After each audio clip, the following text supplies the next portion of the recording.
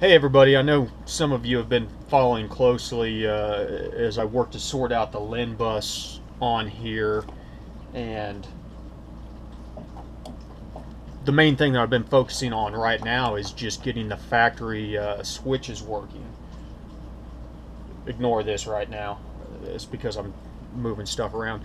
But as you can see, we're we're communicating with these. These are on a LIN bus. If you don't know how LIN bus works, you've got a, a master device like your BCM that sends out a wake up command.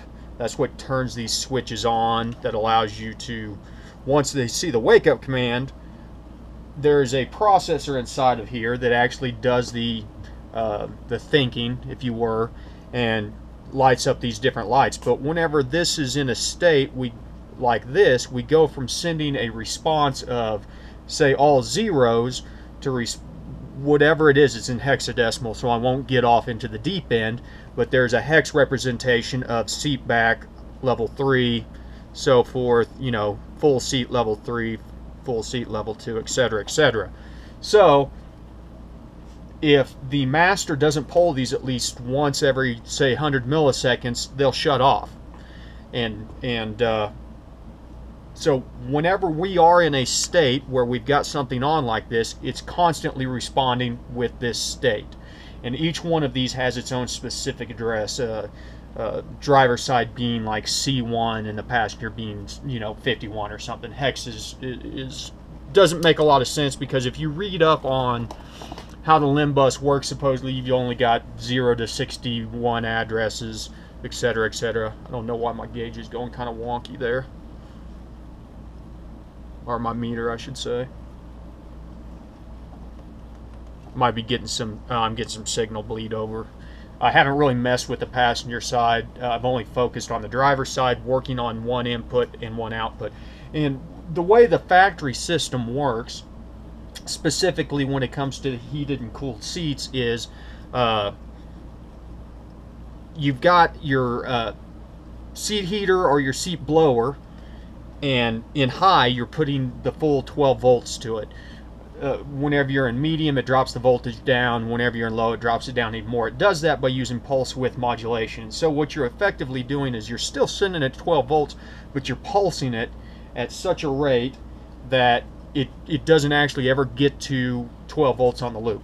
And then that's how you make the adjustment. so it's kind of like taking a light switch and flipping it on really fast to the point where you're not lighting up the room completely you're just getting enough, you know, light to accomplish a low or a medium setting. So kind of what I've done here is I've only focused, I'm going to move this one out of the way, I've only focused on uh, just working with the AC right now. That's just because in, in the, the programming I've done, that's the main uh, address that I've worked on because if you look at this for this one device, there's nine, technically 10 states on this switch. It's in state zero right now where nothing's on. Uh, and then you've got three states for each switch. So, you know, high, medium, low, high, medium, low, high, medium, low, etc. So once you kind of get one, the logic built out for one of the switches, you can copy it over and adjust the different inputs out to it. So normally what would happen is, is, is in a truck where you have this factory or a car where you have this factory, this, the BCM sends your signal out, says, hey, left-hand driver switch for uh, seat heater, uh, wake up and give me your state. So the switch turns on, the seats light up, and if you haven't pushed anything, it just responds back says, I've got a zero state. I haven't, you know, nothing's going on right now. Well, less than 100 milliseconds later, the thing asks again. You know, and that's pretty slow in the world of computers.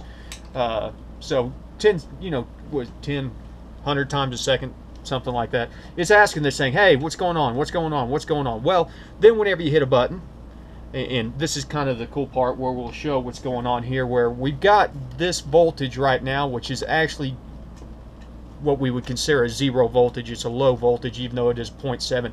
That just shows that we have continuity on the circuit. So I'm going to put the AC seat uh, to high, and now we're basically we're pulsing at a very high rate and the meter's having a hard time keeping up uh, but you can see that it's jumping up to 13 uh, volts which is full voltage through this now if you notice I'm going to take it down to medium. And now we're only getting up to about 8. So we're, uh, you know, not quite. We are uh, not quite. My, my countertop's not completely smooth, so my suction cup's not uh, suctioning worth a damn. We're not quite halfway, round half, or we're a little bit higher than half, you know, excuse the dogs in the background. But that would give us a lower blower speed or a lower heat on our, our seat. So now if I go ahead and drop her down to low, uh, oh, I lost connection on my probe. Now we're only getting about three, three volts out of it. So, you know, we're, we're looking at uh, a quarter of the maximum voltage that you could be running on this blower or putting to this, this heater. Now, some of the other things that, that you've got to do beyond this is we've got to tie it into a proper power supply. Uh, that requires amperage. I'm looking at you, Phil, if you could get me an amperage on the factory uh, seat heater elements. Uh, our resistance actually run an ohm meter and get me the resistance I can calculate the amperages and see what kind of MOSFET power supplies that, that we need to be able to tie these things in. The the motor's not as much of an issue. It's not going to have a higher uh, as high an amperage because the seat heaters literally just generate heat by adding resistance to your circuit. So uh, that is a basic breakdown of how the LIN network, the local interconnect network, works. This is the network that controls things like your mirrors, your seat controls, your seat heater, seat blower, uh, maybe the cab lights, uh, the windows, uh, the the dash buttons down below, uh, which will be an interesting thing. I've, I've got a set of the upfitter switches somewhere.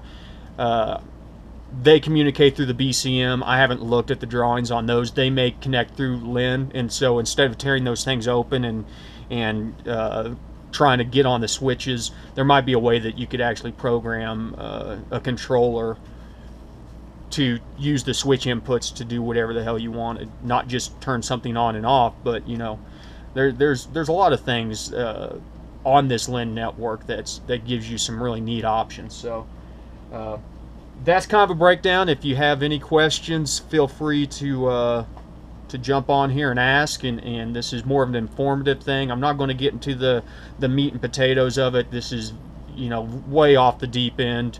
Uh, my background is is uh, automation programming, so this this kind of runs hand in hand with what I do anyways. And and uh, if I can get to a point where I can make the information more easily digestible, I'll try and share more of it. But at this point in time, I'm just showing you what's possible. So there's a lot of these things out there that, that people are going to try and say that, that can't be done. And, and uh, if possible, you know, I, I, we'll keep on debunking that mentality and, and uh, upgrading our trucks, I guess. So I'll, I'll see you guys soon. Let me know if you have any questions.